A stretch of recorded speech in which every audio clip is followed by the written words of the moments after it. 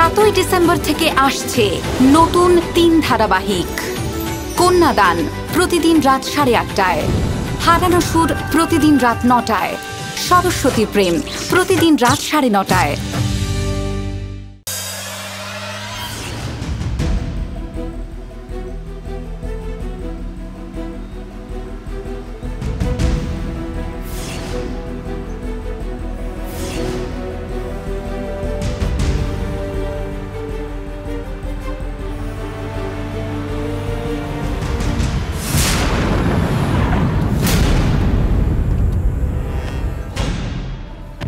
আসুন ম্যাডাম। আসুন ম্যাডাম। এটা কোথায় নিয়ে এসেছেন আমায়? বিরাট কোথায়? বিরাট স্যার ভেতরেই আছেন আসুন ম্যাডাম। উনি এখানে আসলে তবেই আমি গাড়ি থেকে নামবো। না হলে আমি কোথাও যাব না। এই স্যার কি ভিতরে রয়েছেন? ম্যাডাম স্যার একটু বাইরে গিয়েছেন। আপনাকে নিয়ে ভেতরে বসাতে বলেছে ম্যাডাম। দেখুন উনি খুব তাড়াতাড়ি চলে আসবেন। আসুন ম্যাডাম কোনো ভয় নেই। না ওনাকে ফোন করুন আমার সাথে কথা বলিয়ে দিন আগে। ম্যাডাম এখানে কোনো নেটওয়ার্ক নেই। কেন টেনশন করছেন? আপনি নেমে আসুন না ম্যাডাম। আসুন ম্যাডাম চিন্তা নেই। অপেক্ষা করুন স্যার চলে আসবেন।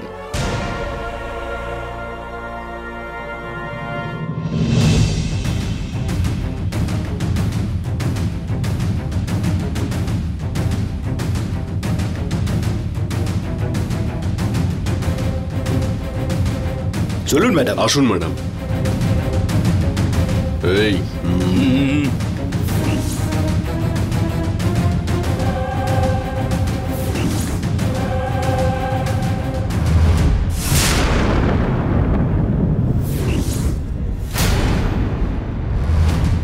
চলুন ম্যাডাম ভেতরে চলুন।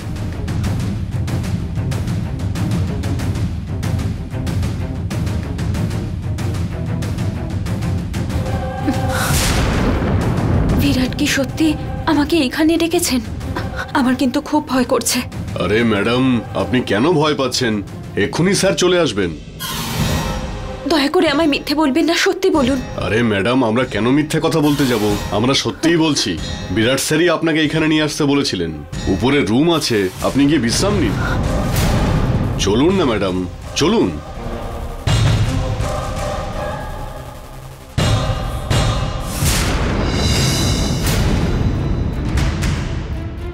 এইখানে ম্যাডাম। বসুন ম্যাডাম। এইখানটায় বসুন ম্যাডাম। ঠিক আছে। আপনি বসুন না ম্যাডাম। বসুন না ম্যাডাম।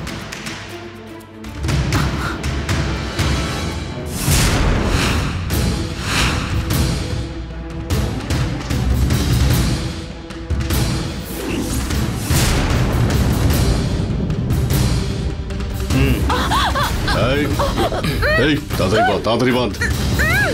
হাতটা ভালো করে ধর।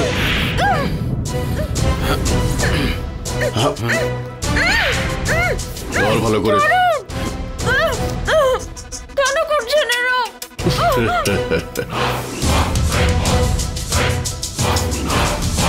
ম্যাডাম, আপনি ভালো করে বসুন। বিরাট স্যার চলে আসবেন।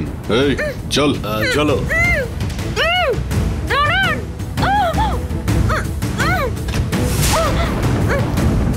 এই তোরা দুজন নিচে গিয়ে দাঁড়া। দাদা। আমি ম্যাডামকে ফোন করে আসছি। আচ্ছা। যা তাড়াতাড়ি যা। ওই আয় রে।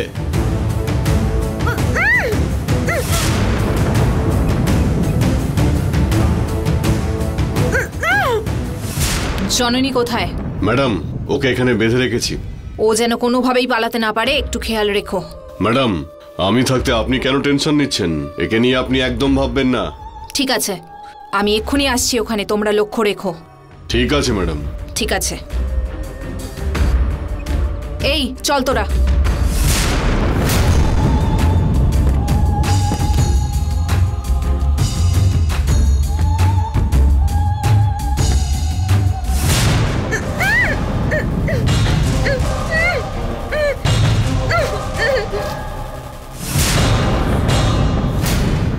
ড্যাড ড্যাড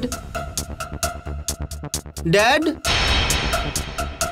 ড্যাড কি হয়েছে রে? আমাদের বাড়ির ব্যাপার আর আমি নিজে জানি না। কলেজে গিয়ে বুঝতে পারলাম। আমি কি এই বাড়ির ছেলে নই? আরে কি হয়েছে সেটা বলবি তো। বিরাট কলেজে এসেছিল। আরও জননীর সাথে এনগেজমেন্ট বলে সবার কাছে বলছিল। আর এই ব্যাপারটা শুধু আমিই জানি না। আরে ও বলল আর তুই সেটা বিশ্বাস করলি। বিরাট বেকার ঝামেলা শুরু করেছে। তার মধ্যে আবার তোর মা ওদের বাড়ি গিয়ে বিরাটের সাথেই জননীর বিয়ে দেবে বলে হুমকি দিয়ে এসেছে। আর তাই নিয়েই ও আনন্দে একবারে ডগমগ হয়ে এইসব করে বেড়াচ্ছে। সোজা ওর বাড়িতে গিয়ে একটা ব্যবস্থা করে আসলে একবারে ঠান্ডা হয়ে যাবে। ড্যাড ওখানে যাওয়ার আগে আগে ভালোভাবে একটু চিন্তা করো। বিরাটের মা জননীকে দেখে সহ্য করতে পারেন না। আর বিরাটকে দেখো জননীর সাথে ও কীভাবে ঘুরে বেড়াচ্ছে। আর বাড়িতে এই ব্যাপারটা মেনে নেবে কিনা সেটারও চিন্তা নেই ওর। ওইসব সেকেন্ডারি ব্যাপার। আমাদের সেটাই করতে হবে যেটা জননীর পছন্দ বুঝলি? হুম। জননী কোনোদিন তোর কাছে এসে বলেছে যে আমি এই ছেলেটাকে বিয়ে করতে চাই? না ড্যাড। কিন্তু আমার কাছেও বলেছে। প্রণব জননী ডক্টর রামকে ভালোবাসে। বিরাটকে সম্পূর্ণ ভুলে গেছে এখনও। জননী এখন আগের মতো নেই অনেক বদলে গেছে।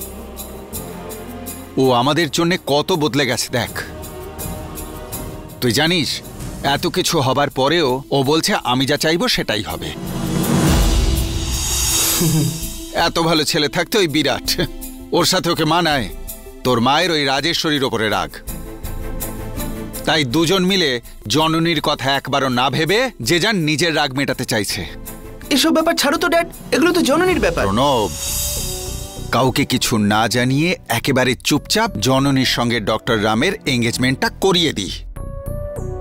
কাউকে জানাবি না। স্পেশালি তোর মাকে মানে আমার গিন্নিকে। একবার যদি এঙ্গেজমেন্টটা হয়ে যায় তাহলে দেখবি সবাই একদম চুপ করে গেছে। আর তুইও ভুল করেও কারোর সাথে এ নিয়ে আলোচনা করবি না। ঠিক আছে ড্যাড কিন্তু জননী এই সিক্রেট এনগেজমেন্টে রাজি আছে? হ্যাঁ রাজি আছে। আমাদের দুজনেরই দেবসেনা থাকলে ভালো হতো বলে মনে হচ্ছে। কিন্তু ও যে কোথায় গেছে কে জানে? কাউকে কিছু না জানিয়ে একেবারে চুপচাপ জননীর সঙ্গে ডক্টর রামের এঙ্গেজমেন্টটা করিয়ে দিই। কাউকে জানাবি না। স্পেশালি তোর মাকে মানে আমার গিন্নিকে। একবার যদি এঙ্গেজমেন্টটা হয়ে যায় তাহলে দেখবি সবাই একদম চুপ করে গেছে। আর তুইও ভুল করেও কারোর সাথে এ নিয়ে আলোচনা করবি না। ঠিক আছে ড্যাড। কিন্তু জননী এই সিক্রেট এনগেজমেন্টে রাজি আছে? হ্যাঁ রাজি আছে। আমাদের দুজনেরই দেবসেনা থাকলে ভালো হতো বলে মনে হচ্ছে। কিন্তু ও যে কোথায় গেছে কে জানে? ওর আসার অপেক্ষা করলে এদিকে যদি কিছু গন্ডগোল হয়ে যায় সেই ভয়ও পাচ্ছি। ও যদি এখানে থাকতো তাহলে মনে অনেকটা বল পেতাম। ড্যাড তুমি অত চিন্তা করো না তো। দিদির জায়গায় আমি থাকলে আমিও সাপোর্ট করতাম। হুম। কিন্তু সবার আগে আমাদের ওই বিরাটকে চুপ করানোর ব্যবস্থা করতে হবে। আমার এই বিরাটের বাবার সাথে ভালো পরিচয় আছে। আমি যদি ওনার বাড়িতে গিয়ে বলি এইসব ঘটছে উনি নিশ্চয়ই বিরাটকে ভালোভাবে বোঝাবেন। আর বিরাটও ওর বাবার কথা ফেলতে পারবে না। শোনো তোমাকে আমি একশো বার বলেছি আমার ইনফ্লুয়েন্স ইউজ করে এই বিয়েটা আটকাবার চেষ্টা করলে আমি কিন্তু চুপ থাকব না। আকাশ পাতাল এক হয়ে গেলেও জননীর বিয়ে বিরাটের সাথেই হবে। আমাকে সাপোর্ট না করলেও চলবে কিন্তু বাধা দেবে না। আসলে আমি ওটা বলতে চাইছিলাম না গো। আমি বলছিলাম যে তুমি কি বলবে আমি জানি না ভাবছ? শুধু সুযোগ খুঁজতে থাকো, পেলেই আমার বিরুদ্ধে দাঁড়িয়ে পড়বে। দেখো, আমি বারবার করে বলছি, আমাকে তোমরা না জানিয়ে ওই পাগল ডাক্তারের সাথে কথা বললে বা ওনার সাথে সম্পর্ক রাখার চেষ্টা করলে আমি চুপ থাকব না। তোমাদের কপালে কিন্তু খুব দুঃখ আছে, সাবধান।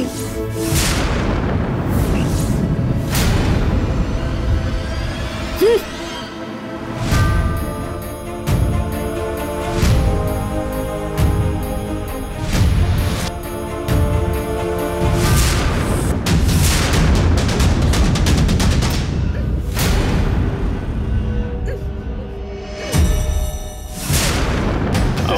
এমনি এমনি ছেড়ে দেবো নাকি হ্যাঁ?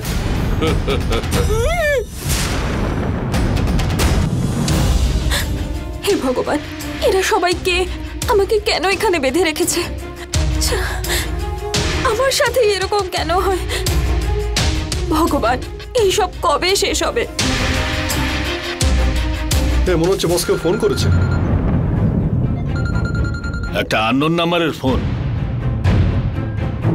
হ্যালো হ্যালো স্যার নমস্কার। হ্যাঁ কি বলছেন বলুন। স্যার দুটো চিকেন বিরিয়ানি দুটো কোরমা আর দুটো চিকেন স্যুপ অর্ডার করেছিলেন আপনি। আপনার অর্ডার রেডি আছে স্যার। কি? অর্ডার? আমরা তো কোনো অর্ডার করিনি। স্যার আপনি অর্ডার দিয়েছিলেন বলেই তো আপনার নাম্বারটা পেয়েছি। স্যার আপনি লোকেশনটা শেয়ার করুন। লেট হলে পরে আপনি তো আমায় বকবেন। ঠিক আছে পাঠাচ্ছি। ওকে স্যার আমি দশ মিনিটে পৌঁছচ্ছি স্যার। ওকে।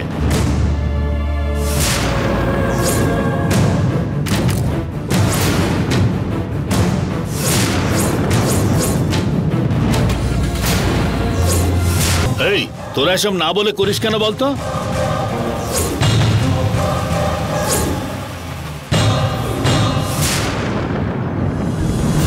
ম্যাডাম ওই গুরুদেবকে আপনি খুব ভালোই উত্তর দিয়েছেন। আমার তো হাত পা চলছিল না ম্যাডাম। তারপরে উনি যখন জননী নয় শোভা বলে ডাকলেন তখন তো আমি আরও ভয় পেয়ে গিয়েছিলাম। আপনিই বলুন কি করব ম্যাডাম?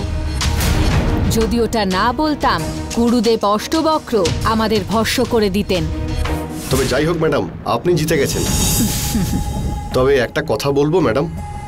সেটা হলো এই তুই বল না। ওটা ওটা আসলে কি ম্যাডাম? কি বলছিস? পরিষ্কার করে বল। মানে বলতে চাইছি যে জননীকে হ্যাঁ জননী একটা চিন্তা হয়ে দাঁড়িয়েছে। নীলি ওকে কিডন্যাপ করিয়েছে। তোরা জানিস? জানি ম্যাডাম। ম্যাডাম। জানিস? কি করে? কোথায় দেখলি? আসলে ম্যাডাম আমরা দেখলাম যে জননীকে একটা গাড়ি করে কোথাও যেন নিয়ে যাচ্ছে। ওই লোকগুলো কারা? ওরা নিশ্চয়ই নীলির লোক হবে। বিরাট ওদেরকে দেখতে পেয়েছে। তারপরেই গাড়ি নিয়ে ওদেরকেও ফলো করেছে। কি বললি? বিরাট জননীকে ফলো করছিল? তোরা তখন কি করছিলিস? বিরাটের জননীর সঙ্গে দেখা হলে কি হবে জানিস তোরা? আমাদের সব প্ল্যান নষ্ট হয়ে যাবে। আমি এতদিন ধরে এত পরিকল্পনা করলাম সেগুলো নষ্ট হয়ে যাবে। ওরা কোথায় গেছে সেটা দেখতে গেছিলিস? হ্যাঁ ম্যাডাম দেখেছি। মাইসুর রোডের ধারে নীলির বাবার একটা রিসর্ট আছে ম্যাডাম। আর ওই রিসর্টের ভেতরে ওদের একটা প্রাইভেট বাংলো আছে ওইটার ভেতরেই গেছে। আর সেটা দেখে আপনাকে জানানোর জন্যই আমি এখানে এসেছি। ভালো কাজ করেছিস। চল প্রথমে বিরাটের সঙ্গে জননী দেখা হওয়াটা আমাদের আটকাতে হবে। ম্যাডাম। চল তাড়াতাড়ি।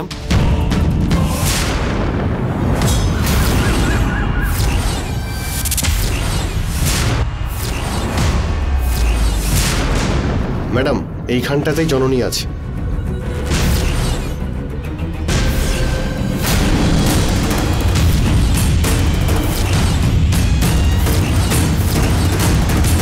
সাবধানে। আমরা এখানে আছি সেটা জানলে সব প্ল্যান নষ্ট হয়ে যাবে। আচ্ছা ম্যাডাম। চলে আয়।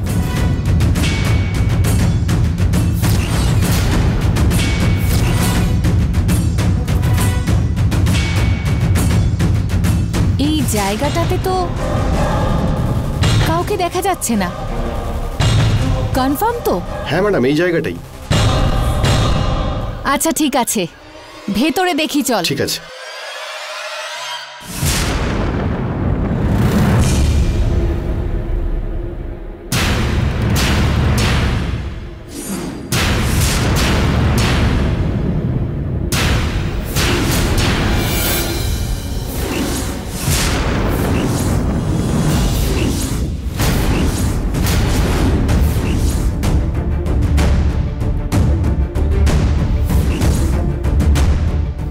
হয়েছে এদের?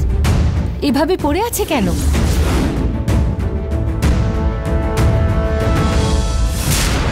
তোদের আগেই ওরা চলে এসেছে। আমাদের জননীকে খুঁজতে হবে।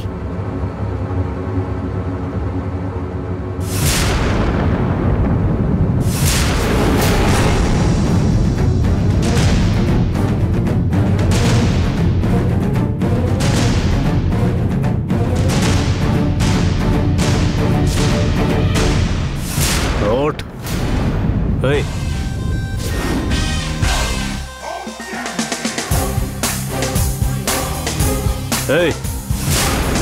জননী কোথায়? এই এখানে বিরাট কি করে এলো? জননী কোথায়? আমাদের যদি দেখতে পায় আমাদের গল্প শেষ। জননী কোথায়? এই জননীকে কোথায় আটকে রেখেছিস? আমাদের যেতে হবে। সাপ হয়ে চলে যাব। ম্যাডাম।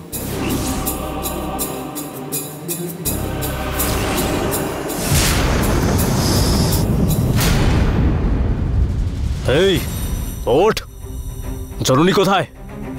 কোথায় আটকে রেখেছিস ওকে? বল জননীকে কোথায় আটকে রেখেছিস? ধুর। এই এই ওঠ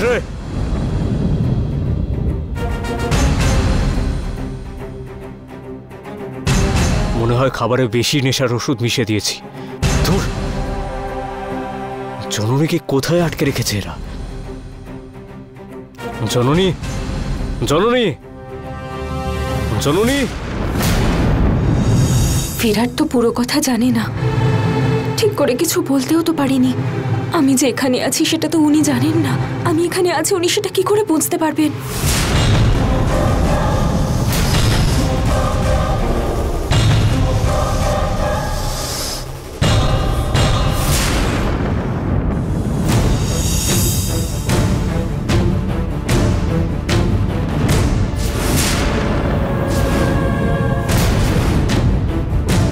বিরাটের সাথে আমি শুধু একটুখানি কথা বলতে পেরেছিলাম।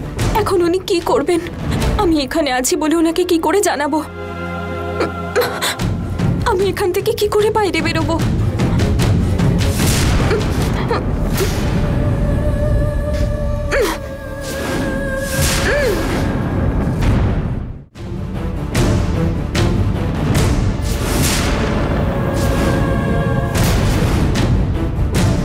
সাথে আমি শুধু একটুখানি কথা বলতে পেরেছিলাম। এখন উনি কি করবেন? আমি এখানে আছি বলে ওনাকে কি করে জানাব? আমি এখান থেকে কি করে বাইরে বেরোবো?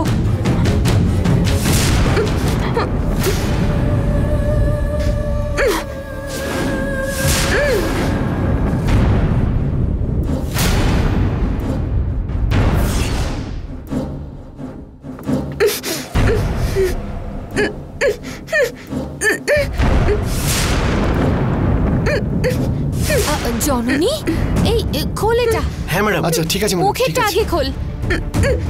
সাবধানে। জননী দেখি। এই তো।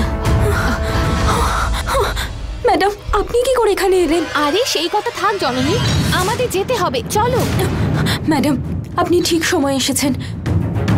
এখন আমরা বেরোবো কি করে এখান থেকে? আমি চলে এসেছি তো। যে কোনো ভাবে নিয়ে যাব। চিন্তা করো না।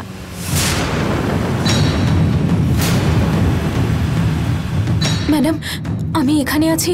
আপনি কি করে জানতে পারলেন? আসলে কি বলো তো তুমি তো কিডন্যাপ হয়ে গেলে?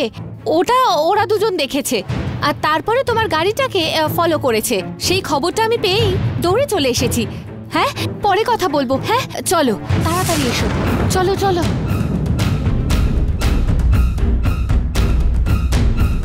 এসো এসো।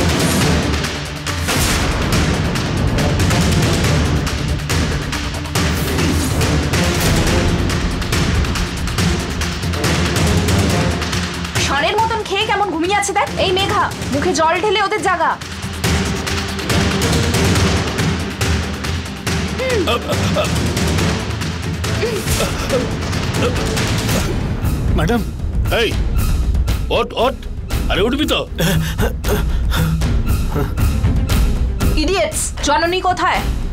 Okay madam. ওপরের ঘরে বেঁধে রেখেছি ম্যাডাম। জননীকে নজরে রাখতে বললাম না? আর এখানে ষাঁড়ের মতো খেতে ঘুমাচ্ছ? কিছু বলছো না কেন? কি হয়েছিল জানি না ম্যাডাম। ওই ডেলিভারি বয় এসে বিরিয়ানি দিয়ে গেল। ওটা খাচ্ছিলাম সেইটুকুই মনে আছে। তারপর আপনি এখানে এসে আমাদের ডেকে তুললেন ম্যাডাম।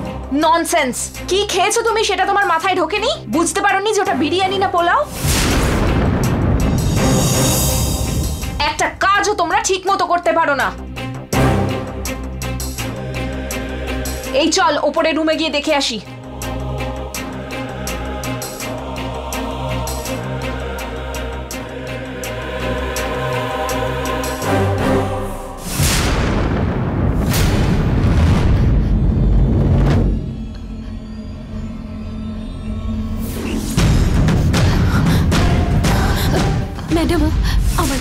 ভয় করছে। জননী আমরা এসেছি তোমাকে বাঁচাতে। আমরা এখান থেকে বেরিয়ে যাব। তুমি একদম ভয় পেও না। ওকে সাবধানে এসো আমার সঙ্গে। চলো এসো।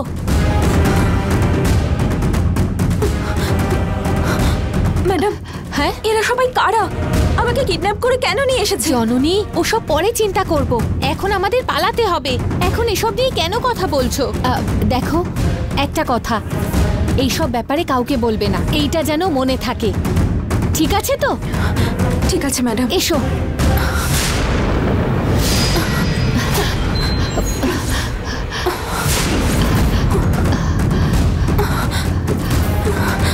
তাড়াতাড়ি এসো। তাড়াতাড়ি।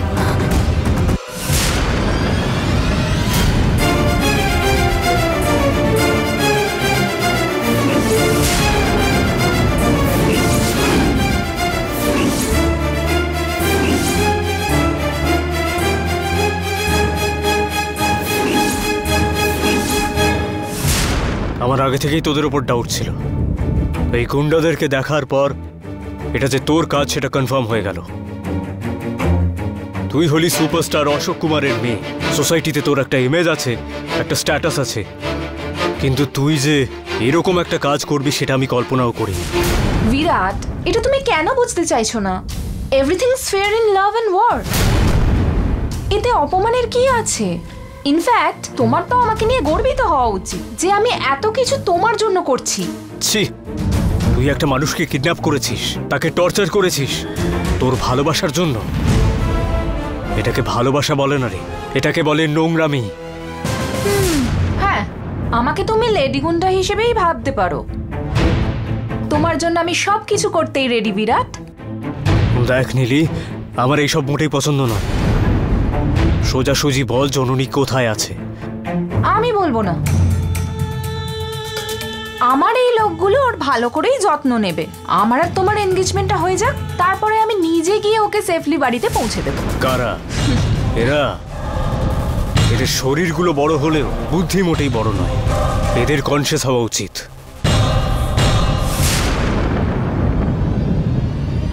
এদের খাবারে আমি ঘুমের ওষুধ মিশিয়ে দিয়েছিলাম। বুঝতে পেরেছিস?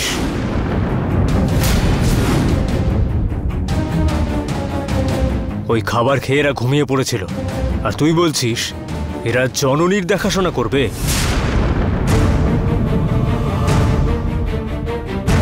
তুমি সেই টেনশনটা নিও না। ওদের ব্যবস্থা আমি করছি।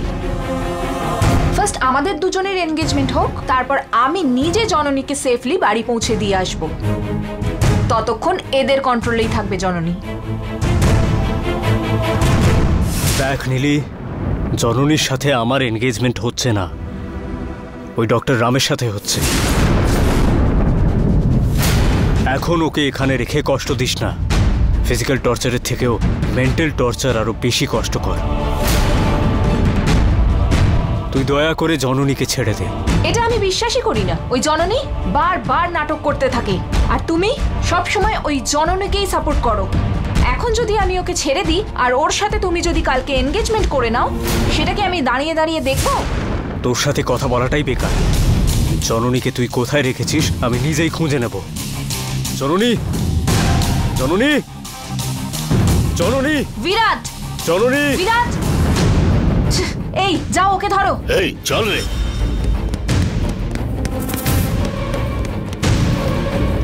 জননীকে আমি কিডন্যাপ করেছি সেটা বিরাট কিন্তু জানতে পেরে গেছে। এই সিচুয়েশনটা আমি যেভাবেই হোক ম্যানেজ করে নেব। তোরা দুজন এখান থেকে যা। ওকে আমরা যাচ্ছি।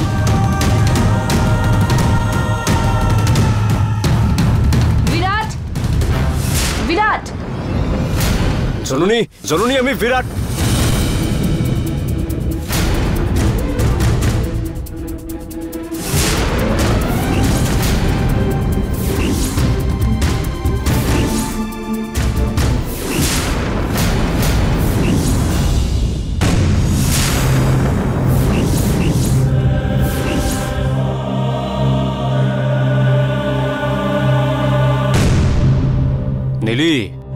তোর প্ল্যান তো ফেল হয়ে গেল রে।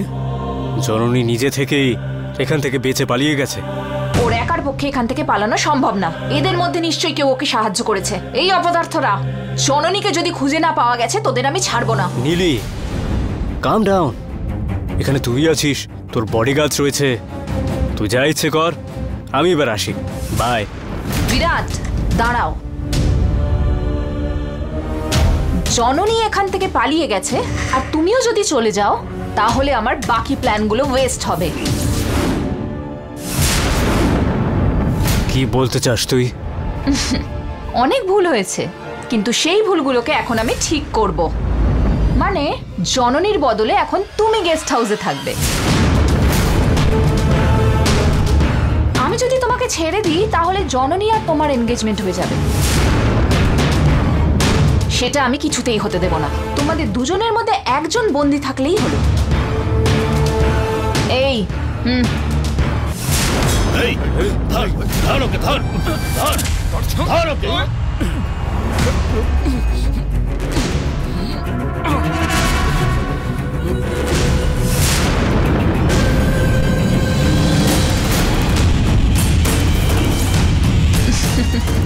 এই সময় নষ্ট না করে ওকে বেঁধে ফেলো।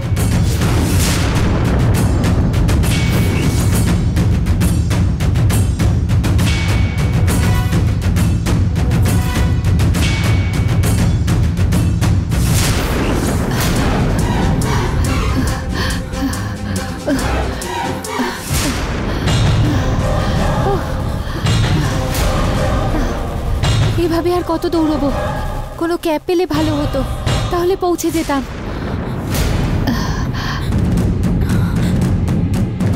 আরে না রে, ভাড়াই পাচ্ছি না। হ্যাঁ হ্যাঁ আমি আসছি আসছি।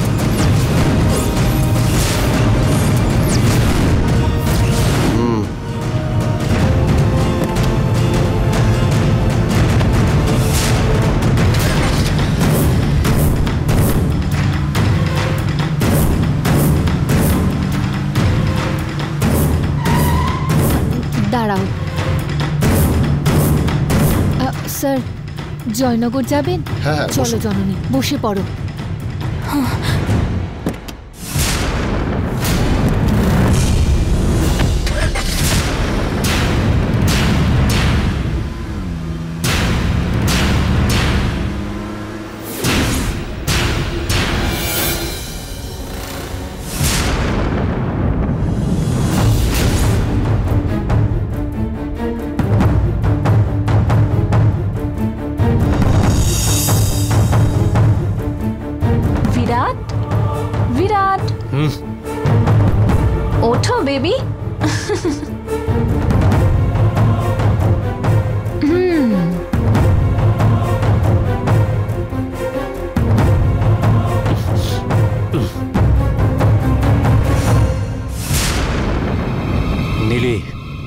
করে ভালোবাসা যায় না।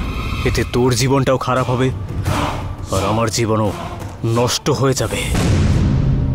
জীবন কেন নষ্ট হবে বিরাট? তুমি কত লাকি জানো? আমার মতন বিউটিফুল সফিস্টিকেটেড মডার্ন হাই সোসাইটির মেয়ে যে তুমি পাচ্ছ তা তোমার পুণ্যের ফল। আমাকে ভালোবাসার জন্য জননী আছে। বোঝার চেষ্টা কর। জননী জননী জননী, সবসময় এই নামটাই জপ করতে থাকো। ওর থিঙ্কিংও ওল্ড আর ও নিজে ওল্ড নীলি জননীর মন খুবই পরিষ্কার। ওর মতো একজন মেয়ে আমি আর পাবো না। একেই বলে ভালোবাসা। ওরকম একজনকে বিয়ে করলে আমার লাইফটা খুব ভালো হবে। তোর জায়গায় যদি ও থাকতো, তাহলে এতক্ষণে আমায় ও ছেড়ে দিত। তাই আমি ওকেই সবচেয়ে বেশি ভালোবাসি। বিরাট তুমি ভীষণ ফুল জানো? কি ভালোবাসা? আবার ভালোবাসার লোকেদের ত্যাগ। এর থেকে বড় মিথ্যে না আমি আমার লাইফে কোনোদিনও শুনিনি। ঠিক আছে তাহলে তোমার জন্য একটা টেস্ট তোমাকে যে ভালোবাসে ওই জননীকে ছেড়ে দিয়ে তুমি আমার হাত ধরো। তখন তুমি যা বলছো সেটাই হবে। ননসেন্স ননসেন্স হ্যাঁ ননসেন্স কি তুমি জানো? তুমি যে সব সময় জননীর স্বপ্ন দেখতে থাকো, সেটা ননসেন্স এখন এই যে তুমি আমার সামনে বসে আছো, এটাই রিয়েলিটি জ্ঞান দিতে ভীষণ ভালো লাগে বিরাট, কিন্তু সেটাকে ফলো করা খুবই কষ্টের ব্যাপার। এখন বুঝতে পারছ তো সত্যিটা কি?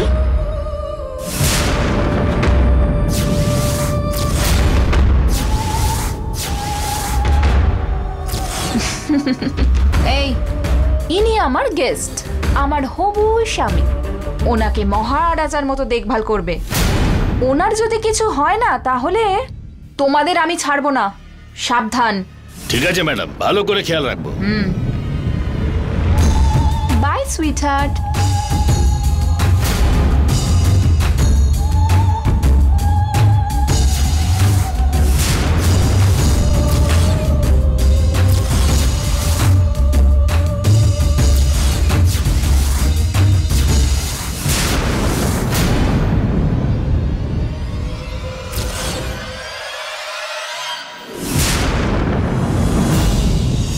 জননী?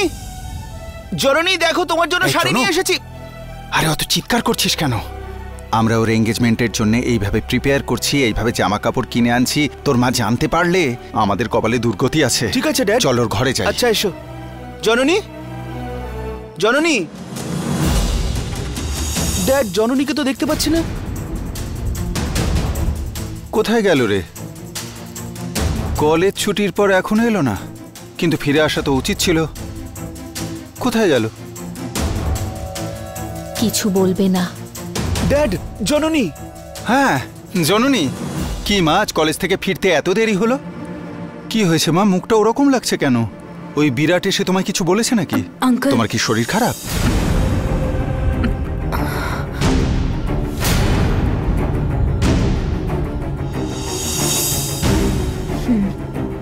আঙ্কেল আসলে আমার আমার কলেজে এক্সট্রা ক্লাস ছিল। কেন কি সামনেই এক্সাম চলে এসেছে তো? সেজন্য এক্সট্রা ক্লাস করে তারপর বাড়িতে ফিরলাম। ও। আচ্ছা ঠিক আছে মা। তোমার এঙ্গেজমেন্টের জন্য শাড়ি এনেছি। তুমি দেখে নাও। আঙ্কেল আসলে আমার আমার কলেজে এক্সট্রা ক্লাস ছিল। কেন কি সামনেই এক্সাম চলে এসেছে তো? সেজন্য এক্সট্রা ক্লাস করে তারপর বাড়িতে ফিরলাম। ও। আচ্ছা ঠিক আছে, মা। তোমার এঙ্গেজমেন্টের জন্য শাড়ি এনেছি। তুমি দেখে নাও। তোমার যদি পছন্দ না হয়, তাহলে নির্দ্বিধায় এক্সচেঞ্জ করে নিও। নাও। আর একটা কথা তোমাকে বলি। এই সব কিছু আন্টি কিচ্ছু জানে না। জানাতে হবেও না। এই সব কিছু জানলেও মনে শান্তিও পাবে না। হ্যাঁ? যেটা ইচ্ছে সিলেক্ট করে নিও ওকে? আঙ্কেল আমার জন্য আপনি কেন এত কষ্ট করছেন? এটা আবার কষ্টের কি আছে মা? তুমি তো আমার মেয়েরই মতো। তোমার বিয়ে দেওয়াটা তো আমার কর্তব্যের মধ্যেই পড়ে আর তার থেকেও বড় কথা সেটা আমার দায়িত্বও বটে।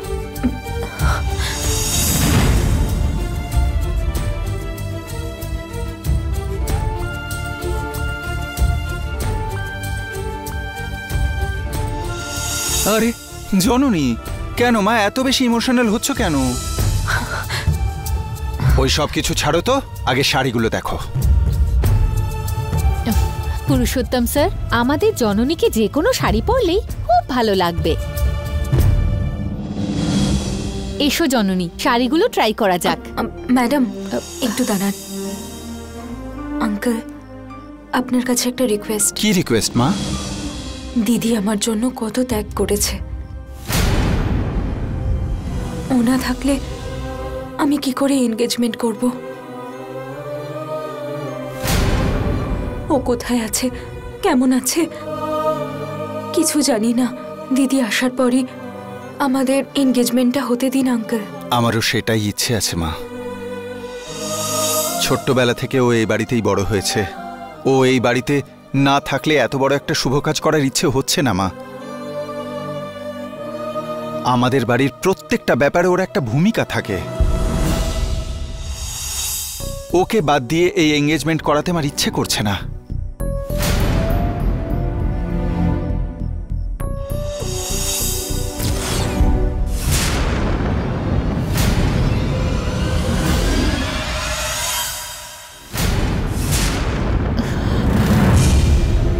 আমার সব প্ল্যান ঠিক মতন চলছিল। এই পুরুষোত্তম স্যারের জন্য সব নষ্ট হবে। এখন কি গন্ডগোল করবে কে জানে? আমি কি করে সব সামলাবো?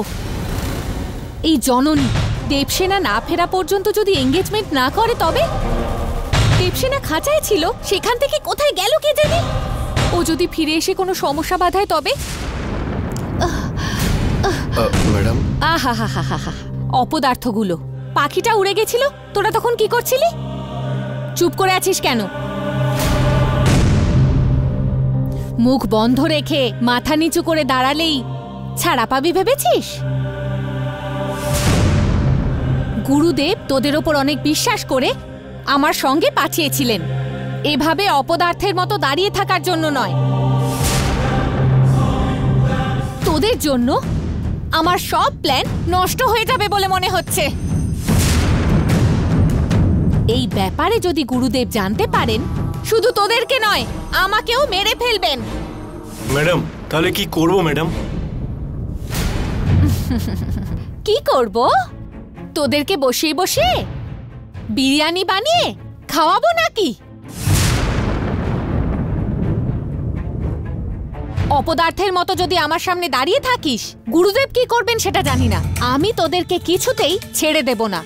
সাপ বানিয়ে বাজের মুখের সামনে ফেলে দেব। চলে যা। গিয়ে দেখ ওই পাখিটা কোথায় চলে গেছে। যা বলছি। ঠিক আছে এই পাখিটা নিয়ে মনে হচ্ছে আমি সমস্যায় পড়ব। দেবসেনা কি ওর আগের রূপ ফিরে পেয়েছে? না না এটা হতে পারে না এটা কিছুতেই হতে পারে না।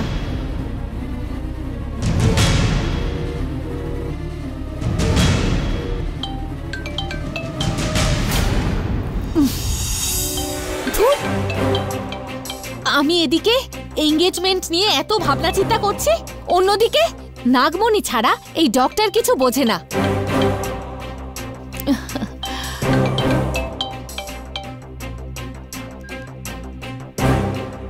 হ্যালো, বলুন ডক্টর হ্যালো শোভা ম্যাডাম। কি ম্যাডাম এইগুলো? আপনি বলছেন কালকে এনগেজমেন্ট ওদের বাড়ি থেকে কোনো ফোন আর মেসেজও নেই। জননী কোথায় আছে? আসলে আমার বাবা জননীর সঙ্গে কথা বলতে চাইছেন। ডক্টর, আপনি কি জননীকে ভালোবেসে বিয়ে করছেন?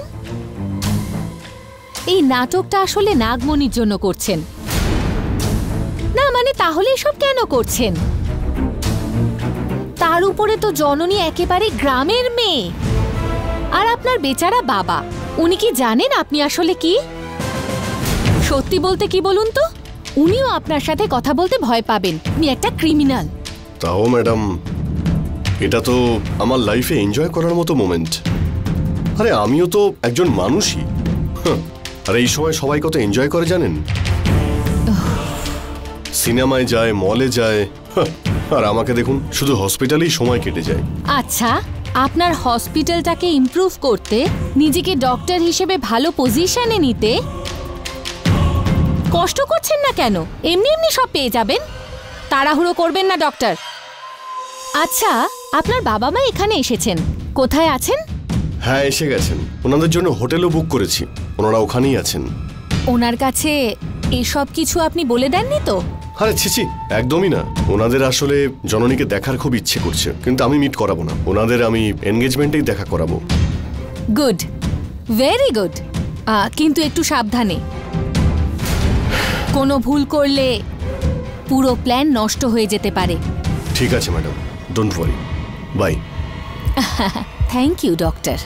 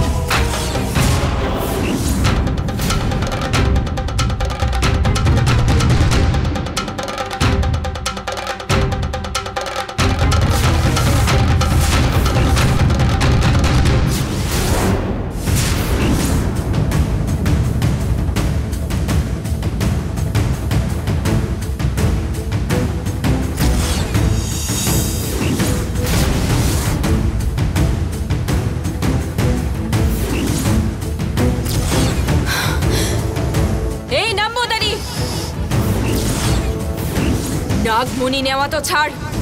ওটা তোকে স্পর্শ করতে দেব না। আমার এক ফোঁটা বিষ, হাজারটা সাপের বিষের সমান। আবার যদি নাগমণি চুরি করার চেষ্টাও করিস, তাহলে তোকে আমি জীবিত ছাড়বো না। জননীর শক্তি কতখানি আর একবার পরীক্ষা করে দেখতে হবে।